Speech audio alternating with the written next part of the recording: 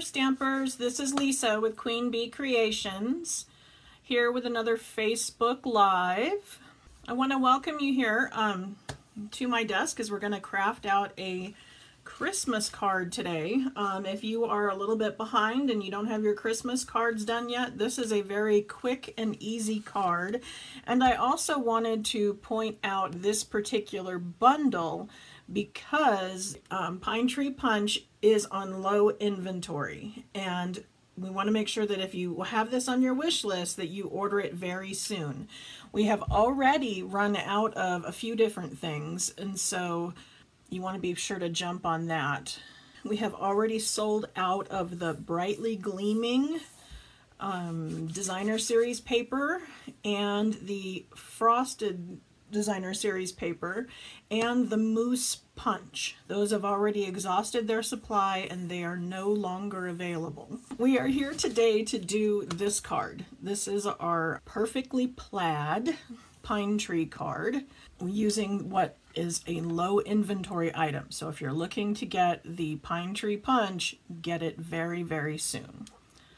Oh, hi, Chrissy first time watching. That's awesome. I hope you enjoy today's card. Um, we're going to be making it using the Stamparatus. I want to show a couple little tricks with that. Um, we are using the Perfectly Plaid bundle, so the stamp set and the Pine Tree Punch. Um, I'm starting out with a Whisper White card base.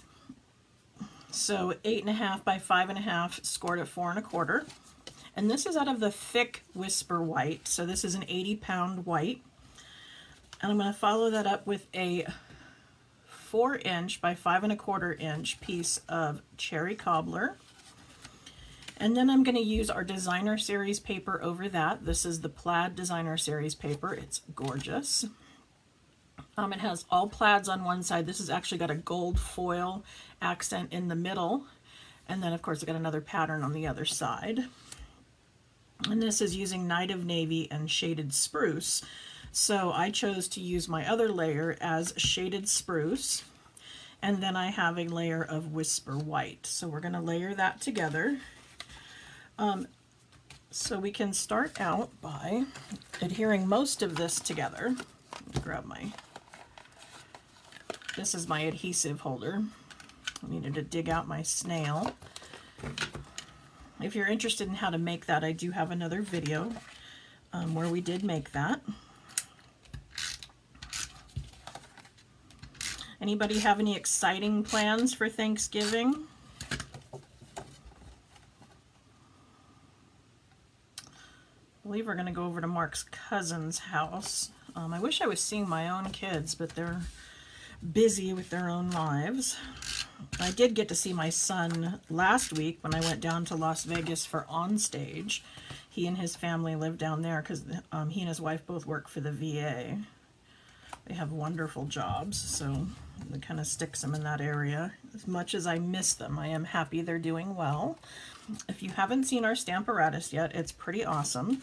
It's a stamp placement tool, and it has two plates. I actually don't have one of them on. And then both plates come out and they're reversible. So you can flip them around and you can also move them on a hinge um, so that you can stamp perfectly in a line. So if you have something where you're looking to um, place a sentiment evenly and lined up perfectly, the Stamparatus is the way to go. And I don't know if you know or if you've seen in the catalog, they have this new foam mat that's um, kind of plasticky on this side, so it's much easier to clean. You can choose to use the um, standard paper inserts, or you can use this, or both. Um, I'm going to come in here and show you how we're going to line up a sentiment. There are two magnets on the back, and I have them wrapped in duct tape. Now the reason for this is these magnets are super strong and if the two of them happen to snap together they do have a tendency to break and so if they are wrapped in duct tape if it did break that hold all the pieces together because I understand they're sharp um, but this also gives us a something to hang on to when you're trying to pull it off of the base. Now when I go to place the sentiment, I know that I want it on this side. And I can eyeball it and pick it up. Now one of the things I want to make sure and check is there are grid lines across here. And so I can make sure that my, there we go, now you can see them sort of, that my sentiment is evenly lined up so that it's not cattywampus, and it is. And then if you have a stamp case, that is the perfect height for putting under here so that when you go to ink up your stamp, and I'm going to do this kind of messy um, on purpose. Um, so see how this did not get that section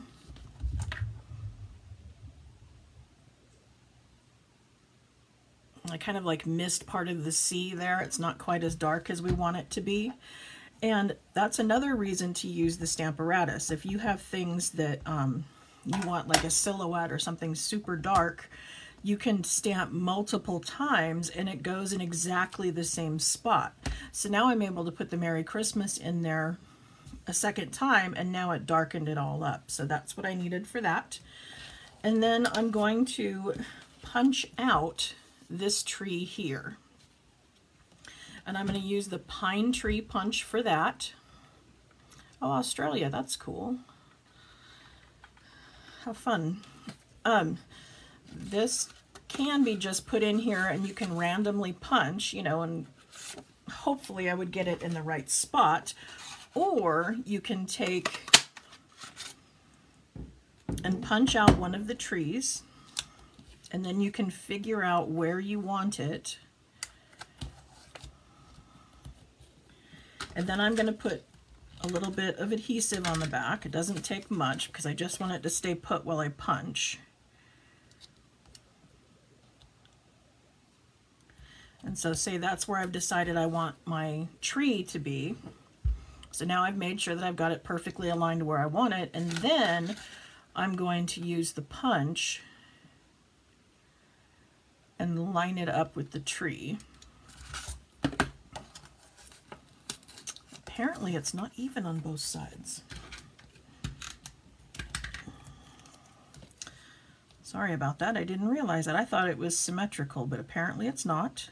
So you want to make sure that you are using the same side. And then we can, like I said, line it up exactly where it was the last time on the tree and then punch it out. So now that tree is exactly where I wanted it to be. I want to be able to stamp the tree in the, the void that we have here. Now I could, because they're photopolymer, it's very easy to just um, line it up with a regular block, but say I don't want to do that, I want to make sure that I'm, my placement is a little more precise. I want to make this fit perfectly in here. So I can mess around with it and look at it and decide, okay, you know, that's exactly where I want it to be. And then I close it and pick it up. So now when I go to stamp that tree, it's going to go right where I want it to go. Let's even adhere this down.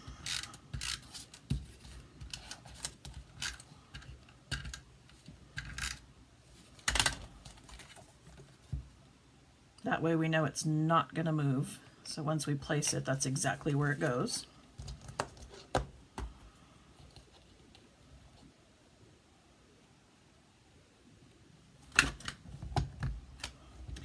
And then I just want it to be a shade on shade. So I'm going to do Shaded Spruce ink on Shaded Spruce cardstock.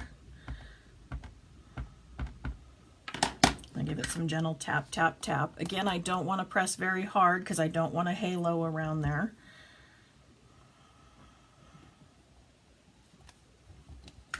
And there we go. There's our perfectly placed tree. So now I can go back and put the Stampin' Dimensionals on. And there we go. There's our card. Now, that's the outside. I also want to do the inside. I never leave any of my insides blank. Oh, and if you saw this, I don't know if you did, but this is a piece of acetate where I've just drawn a plus across the middle. And this is if I wanted to center something in a layer. So this is a perfect layer for the size of a card. So this is four and a quarter by five and a half. And so if I wanted to place something perfectly centered rather than trying to eyeball it, I can lay that over and find my exact middle. So that's what that was, in case you were wondering. Back to our stamping. Okay, so I have um, another sentiment. And again, I could do this with the other plate in the Stamparatus, or I can just use a standard block.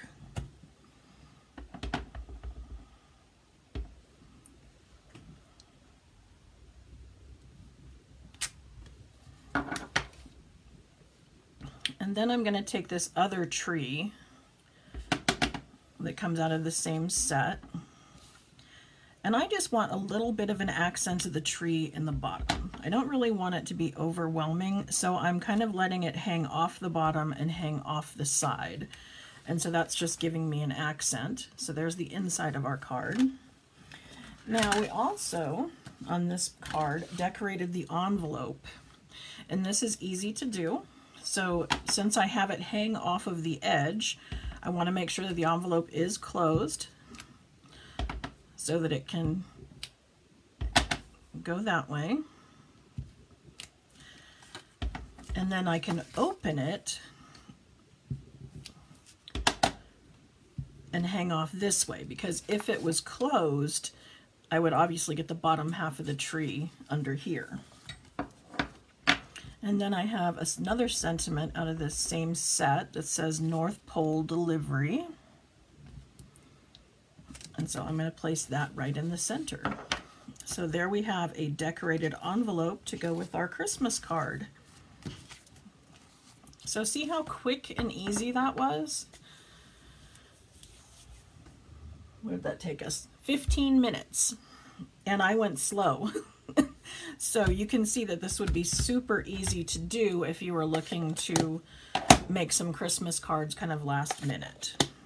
So again, I want to thank you for joining me and remind you that if you place an order through my store, um, not only will you get the customer appreciation PDF with a $30 or more order, but you will also get on my list for getting a copy of the new mini catalog. This will be coming out in January um, when we start Sale-A-Bration, which is Stampin' Up's biggest sale of the entire year. And anybody who places an order with me automatically gets on a list and gets a copy of the catalog delivered to them as well because I want to make sure that all of my customers have that in their hot little hands because it's always more fun to look at the printed version than it is to try to look at it online, although it is available online. But um, we all know how fun it is to play with the paper version. So again, thank you for joining me, and I hope you enjoyed today's card and you give it a try. Thanks. Bye.